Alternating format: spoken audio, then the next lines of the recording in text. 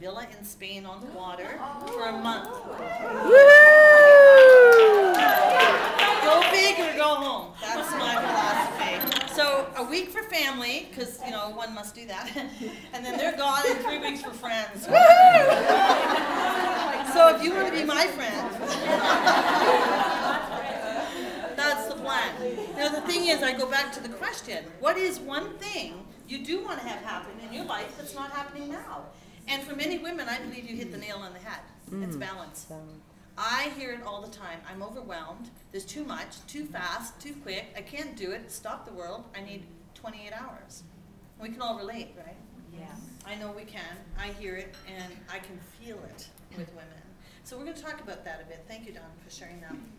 What I want to do is work through this card, and as I was explaining to Amanda, I don't usually give the normal handouts because people take those hand, they'll take the notes in the notebook, and it goes back and becomes what I call shelf help.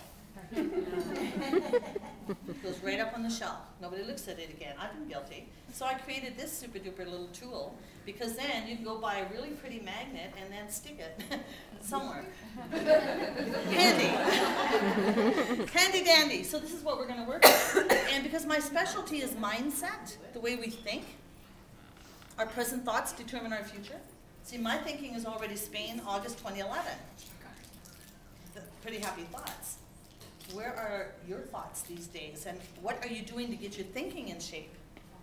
Because many of us, I know we focus on nutrition, we focus on exercise, we had a little bit of yoga last night, Nia coming up. but when and what have you done to get your thinking in shape? And that's what I'm all about, and that's why we're here. And the door's just locked, so you can't get out.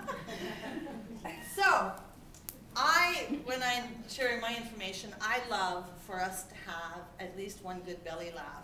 When's the last time you had a really good belly laugh? Well, aside from last night. I know.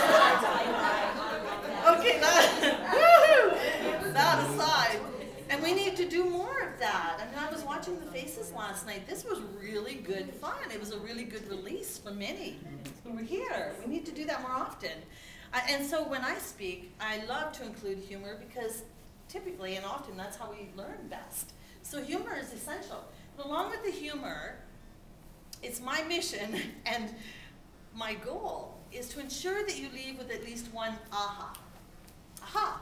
I never thought of that. Aha! I could do that this way. Aha! That would work for me. Aha! I'm going to Spain in August 2011. I'm going to keep putting that out there. I want you to think big. Dare to think big. Beyond the tip of our nose. So the ahas are important.